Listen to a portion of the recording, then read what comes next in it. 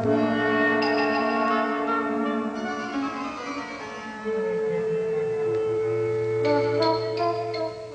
do you do, ladies and gentlemen, and boys and girls? I'm Julius Sumner Miller once again, and physics is my business. And this time, our special business is the thermal expansion of stuff. Notice how I use that word. Thermal expansion of stuff especially concerned with solids. Solids. Remember, to the best of our knowledge as earthbound creatures, all matter is either solid or liquid or gaseous. I say for earthbound creatures, there is a new kind of stuff now in the laboratory, as the British call it plasma, electrically charged stuff. And indeed, there may be stuff in a different state elsewhere which travel to planets elsewhere and stars remote may reveal. But anyway, the thermal expansion of solids a classical experiment which is not ever really properly explored, as we shall see. The classical ball and ring. Now, what do we do usually? We show that this is a brass ring and this is a brass sphere. They are metals. They expand when heated. We show that the ball cannot pass through the ring, the hole. This suggests very clearly two things. Either the hole is too small or the ball is too big. And because I'm a charitable man, I'll let you think whichever you wish. The hole is too small or the ball is too big. So now what do we do? We will make this a virtual demonstration and imagine its consequences. We heat the ring in a flame. We heat the ring in a flame of a Bunsen or Meker burner. And if I do it long enough, I can then pass the ball through. Uh-huh. So somebody says, I understand that. The hole got bigger. The ring got bigger.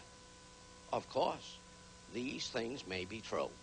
Now, as all of you know, I am not so much interested in what we know as I am in what we understand. This is much more important. Accordingly, if we understand what has happened here, the following question can be answered. I have here some metal plates. Here is an aluminum plate with a little hole in it. Here is an aluminum plate with a little hole in it. Here is a plate. Here is a plate. It happens to be rectangular or square. It has a teeny weensy hole in it. I can see the light. Question. Problem. I heat these plates uniformly. How could I do that? I could put these plates in the oven of my stove at home and heat them. So they are heated everywhere uniformly. Some of the plates are circular, some are rectangular, and they have little teeny weensy holes. Question. When the plates are heated, what does the hole do? I'll give you some choices. One, the hole does nothing. That's a very good thing to have happen because I plan in the future to do a lesson on relativity where we will see that Einstein took hold of an experiment whose results were nothing and he made relativity of it. So nothing is important. So the holes do nothing. The holes get bigger.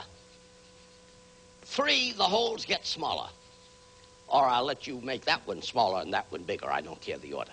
So, what do you think the holes will do? Do nothing, get bigger, get smaller.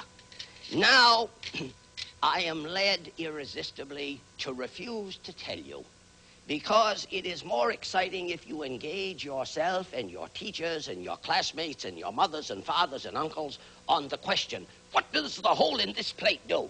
Oh, says some, say some, gets bigger. No, it gets smaller. So I'll tell you the best way to learn the truth of matters. Those of you who think one thing should get together with those who think the other and argue it out. And then, of course, you can do the experiment. One more exciting little dramatic investigation regarding thermal expansion of solids.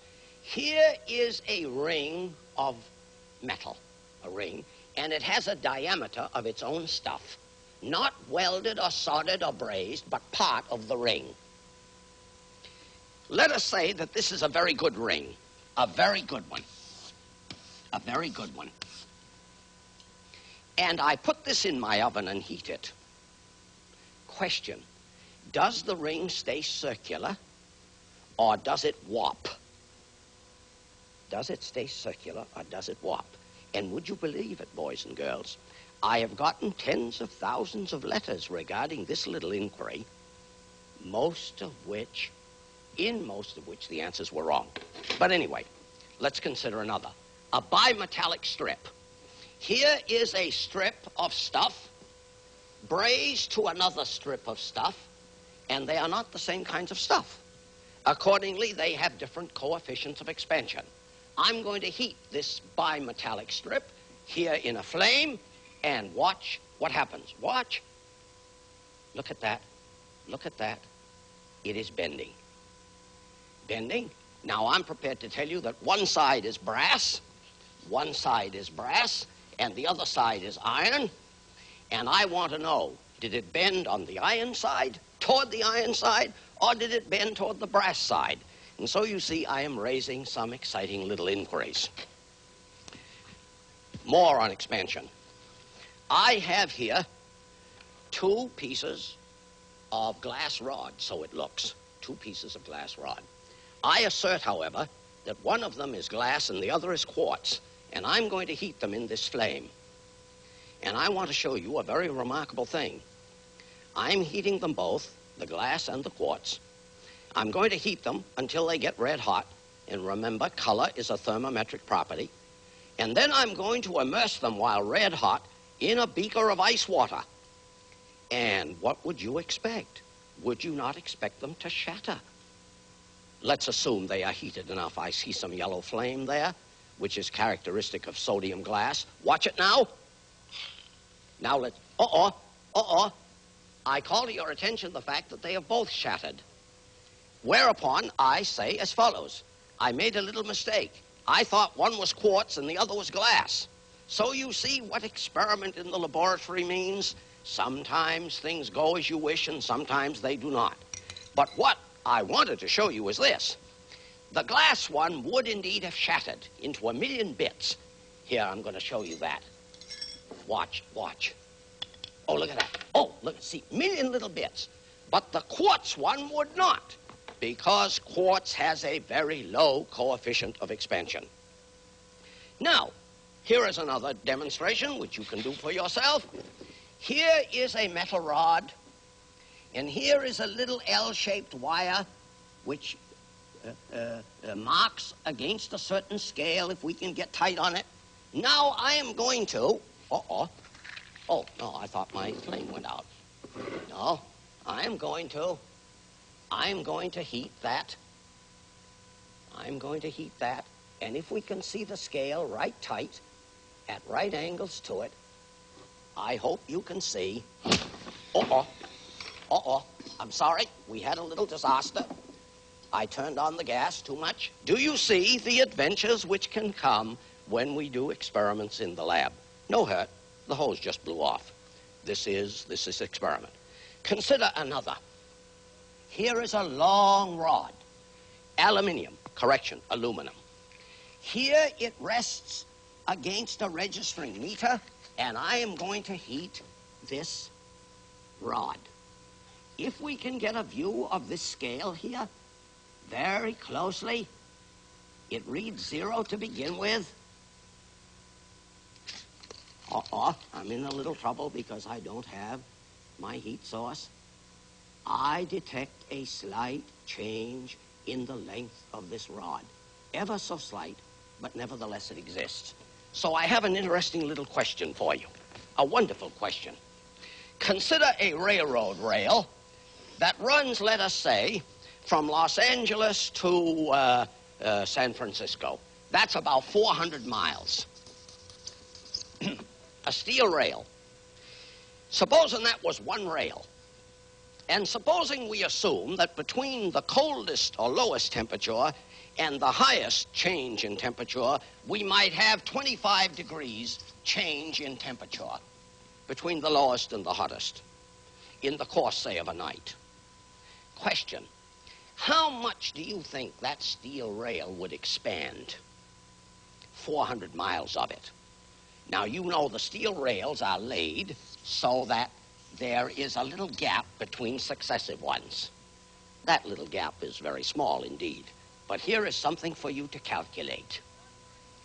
The steel rail, one rail, between Los Angeles and San Francisco being 400 miles long, suffering the change in temperature I have suggested, would expand, what do you think, a foot? 10 feet?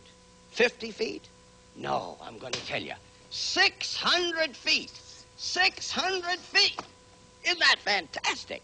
So those little gaps between the successive rail lengths between here and San Francisco, those little gaps add up to 600 feet.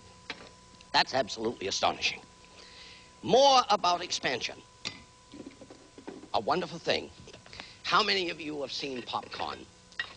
Everybody in the world has seen popcorn. Here is some popcorn. Now you know what you do. You apply some heat to the popcorn, to the dry, lifeless, dead, inert popcorn. But I would remind you, it is not dead, lifeless, and inert. If this is put in the good earth, and it has the right change in temperature, the right dark and the right light, the right heat and the right cold, the right wet and the right dry, it will sprout and beget itself millions of fold. So it is not lifeless. I ask, when I heat that and the corn pops, why does it pop?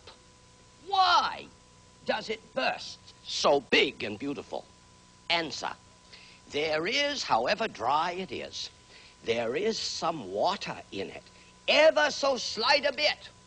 And when that water is heated to the uh, state of steam, it expands 1,700 times. That is, if I have a little droplet of water in there, so big, when I heat it to steam, it is 1,700 times bigger. And I say that's fantastic.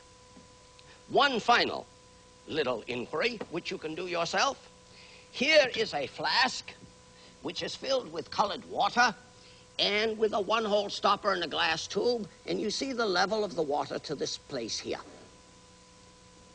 Now, you know that if I mechanically squeeze the wall of the flask, the level goes up. If I mechanically squeeze the small edges of the flask, the level goes down. Down, up. Question. Supposing I heated the walls of the flask, heated them, would the level go up or would it go down? And so I have left you with a number of exciting and dramatic and stirring inquiries concerning the expansion of stuff. And I thank you for listening.